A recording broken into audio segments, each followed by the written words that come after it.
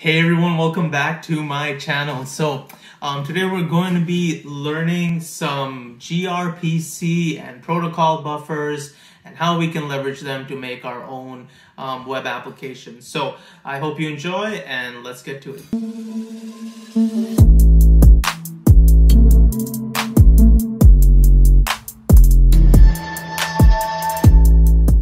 All right, so I put a little quick slide deck and just ignored this or just, I don't know, just, just ignore this. But anyway, I'm to do this whole video with this. So um, we're to be talking about um, protocol buffers. What are there? You know, what are they? gRPC. And at the end, we're going to build our own node.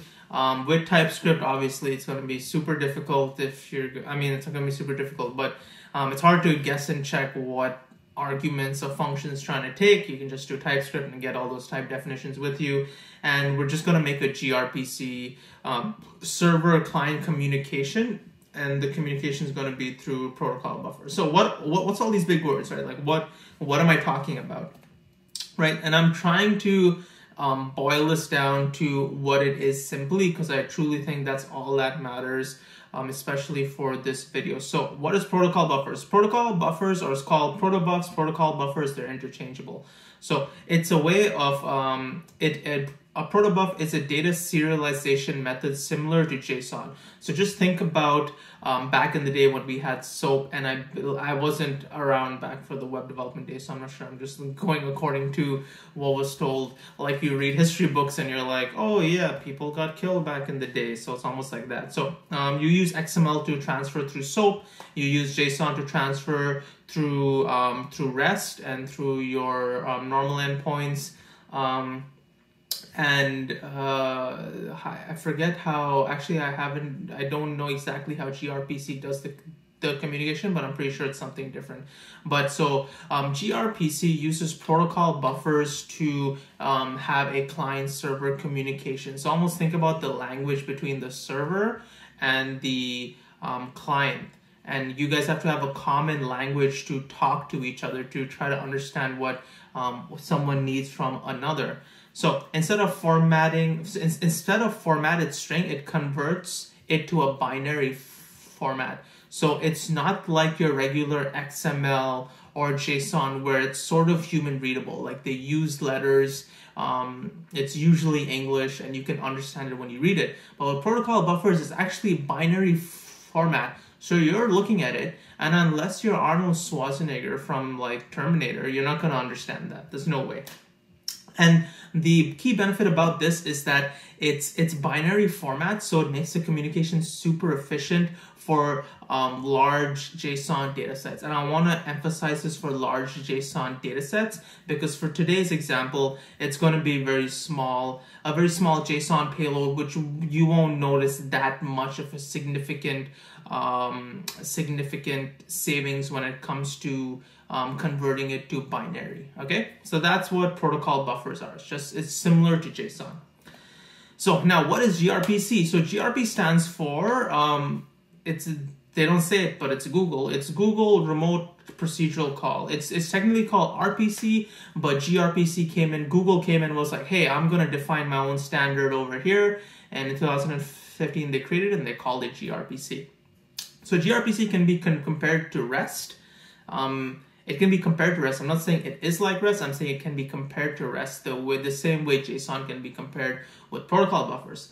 Um, so it's defined. It's it it's a defined. I, I did that wrong. So it's a defined communication mechanism between a client and a server. So it defines um, it, it it defines the way um, it, it's gonna talk to I'll uh, talk to different clients. So, and it only works over HTTP2. So that's like a key difference. Um, you can't, currently right now, I don't believe any browser, any modern browser um, supports gRPC communication. Like there's no way a server is directly communicating with a client. There are ways around it and um, we will go over those in um, in a later video. But um, for for now, just understand that it requires HTTP2 exclusively, um, unless you're we're doing it on local development, because then there's a way to get around that. So gRPC user call uses protocol buffers as a form of communication. We already went through this, and the contract is defined through a proto file. So what this proto file is, it's almost like a JSON file where you define your services and you define your messages. Your messages, which would technically be responses and requests, and you're going to define that um, schema over there. And that file is going to get consumed by both your server and your client and that's how they um, communicate with each other pretty much. So, well, what did you get from this? If, if you got anything from this video, it's simply JSON is to REST, what protobuf is to gRPC. There's one thing you got from this slide deck, it's that. So here's a little picture that I got off. Um, it's that probably, yeah, this is off Google's own official website for gRPC. You know, you have a C++ um, that access a server over there on, on your left. And over on the right, there's two clients. There's a client in Ruby and a client in Java. And what this really uh, is showing is that you can have different services, different clients on different languages, but as long as they use the common interface through gRPC, how it defines it through protofiles, you can have um, seamless communication um, between client and server regardless of the the language. Currently, right now, if you go on grpc.com, you actually do see the supported languages that um, Google supports because essentially what you do is you define these protofiles and then um, Google has this proto compiler that creates your specific services or your specific clients um, based on the the schema definition, and then you just say what language you're using, and bam, you you get your server and your client. You just have to define the business logic between them, but all communication between server and client is handled out of the box. Right, let's see if I have any more. Okay, so what are we going to do today, right? Like, we're let's put this into practice. So we're going to create a gRPC server um, using Node and TypeScript because I'm not doing it without TypeScript. You come to the wrong video. Um, we're going to create a client as well in Node and TypeScript. And we're going to create various services that can be used um, by the client. So the, we're going to define various um, services in the in in the server, and the client just going to um, interface with them. And we're going to make four different types of services, and those four different types of services will be four different types of gRPC calls that are supported. So there's four right now. There's unary, so that is um, think about it as how we do all our REST calls today. So you the, the client makes one request and the server usually sends back only one response. So it's one request, one response, and the connection is closed. That's how Unary works, or I might be butchering the word. Client streaming. So this is where there is an open communication between the client and the server, but the only difference is the client is allowed to stream data to the server. It is allowed to stream data to the server, and the server isn't isn't allowed to. Well, it's not isn't uh, uh, allowed to, but it's not defined. The the, the server can't really do that um, in this sort of call.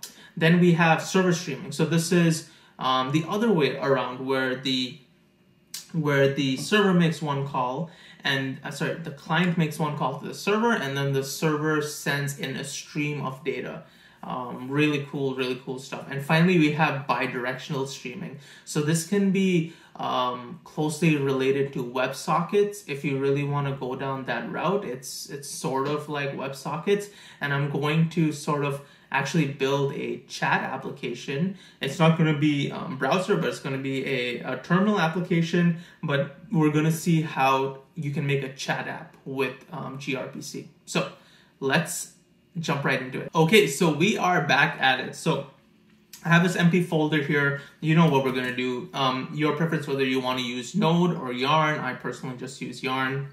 Um, for It doesn't matter in this case. So yarn init dash y because I just want to accept all the default um, the default questions. And now we're to install some um, packages. And honestly, compared to my last videos, this is very few packages, so I'm so happy.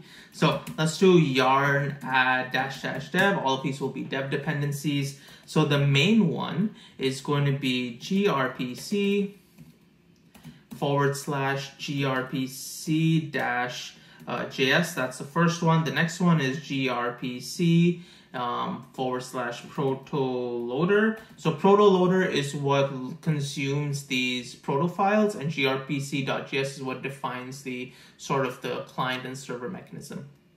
Um, what we also need is TypeScript. Hello, we need TypeScript, um, and also we need TS node. So TS node is, is what's going to compile and run our, our, our TypeScript. So TS TS node, not TS code.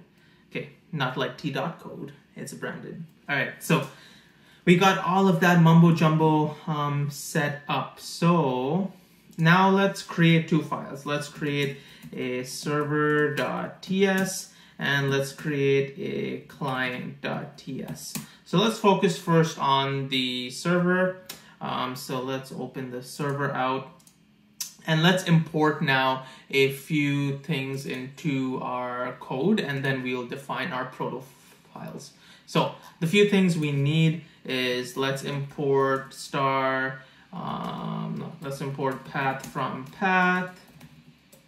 Uh, we will need this when we're trying to pull in our files. We're going to import star as grpc from um, at grpc.js. And then we're going to do the same thing. So import star as um, grpc, I think grpc um, proto loader from um, grpc proto loader.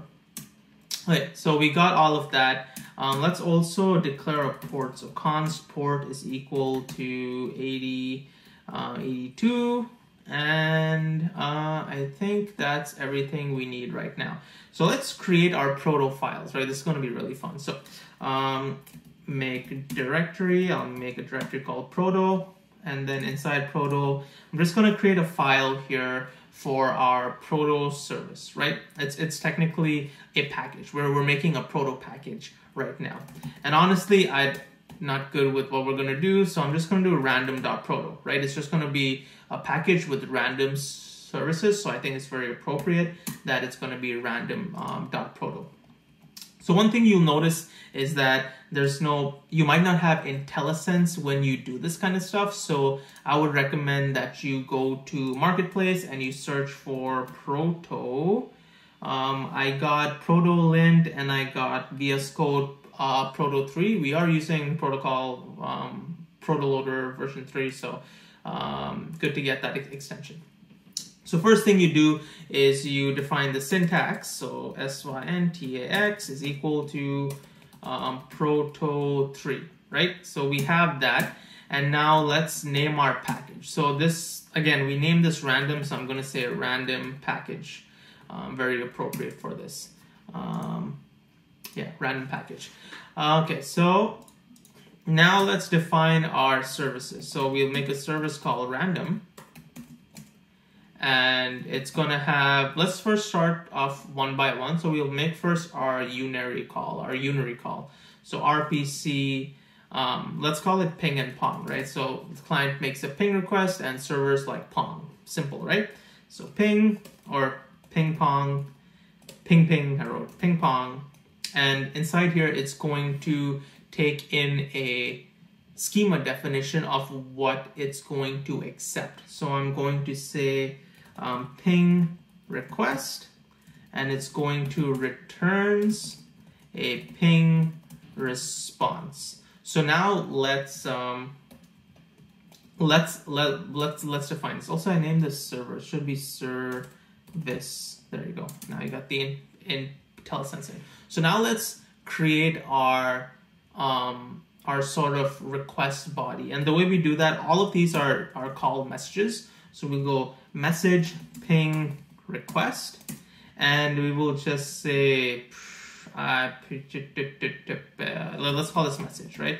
Let's call this message and it's string, and um, we have to put a number after that. And this is very um, crucial to to our proto files. When you create your messages, they do need to follow a sequential pattern starting from um, one all the way down.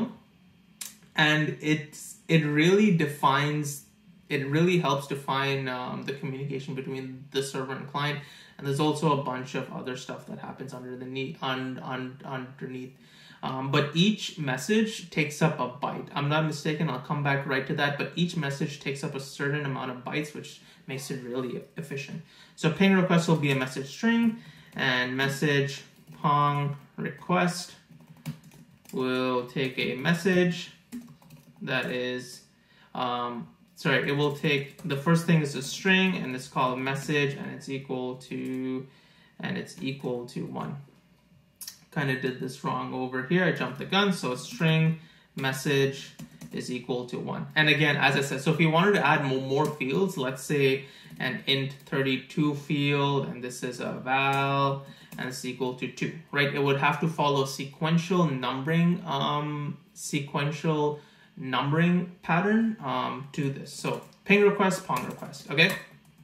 So now let's save that. And now let's um, create our TypeScript definition. So what we're going to do is, what's really handy is that we downloaded Protoloader and with Protoloader comes neat little TypeScript extensions. So I'm going to make a um, bash script. So I'll just call this um, touch proto gen.sh, right? And over here, I'm going to do shabam hashtag exclamation mark um, um, bin bash and um, over here we're going to run a script that executes um, our proto loader to compile to TypeScript. So it's going to be yarn proto loader gen types and it's going to dash dash grpc lib is equal to at grpc forward slash grpc dash js and the we got to specify an out directory so out dir is equal to our same files. We want to keep them pretty close to each other. So forward slash proto um, proto forward slash and then pro and then all our files. If um, this is like a regex to find all our proto files to compiled. So it's going to be in the proto file and it's going to be star and it's going to have an extension called proto. Okay, great. So now we have this. Now let's go to package.json and let's make some helper scripts. So scripts and we'll call this protogen. And all this is going to do is call the protogen.sh. Okay. And another thing we're going to do, let's create our start for our server and it's going to be um, ts node and we're going to call the server file. And then finally let's just create one for our client.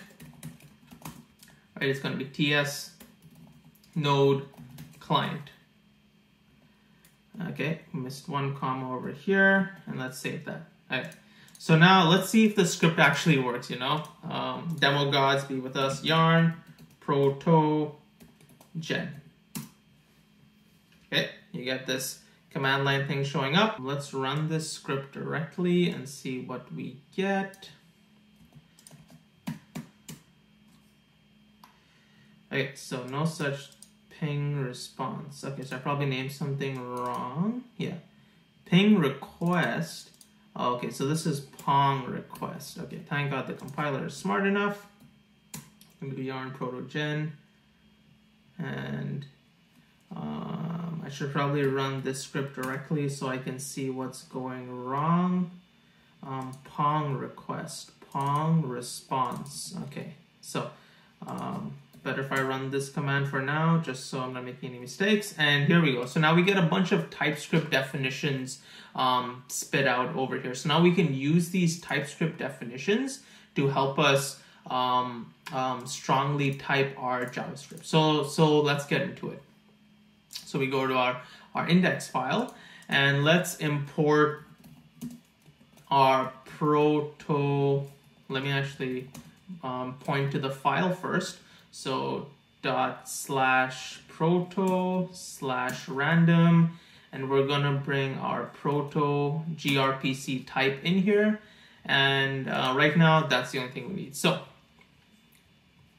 let's now const package definition. Let's load our package. So proto loader dot um, load sync. We want to load it synchronously, and then we're going to use our path dot resolve dash underscore underscore dir name comma um, oh we want to not make this a we want to make this a constant so over here const um, proto file is equal to um, dot slash proto forward slash um, random dot proto so we want to load this synchronously Yeah, proto. Okay, so now we put that in there and now we loaded that synchronously. So now we can make our gRPC object. So const gRPC object is equal to um, is equal to grpc dot load package definition and then we pass our package definition in there um, just a little type TypeScript hack we gotta parse it, we gotta change it to unknown first and then parse it as a proto um, gRPC type.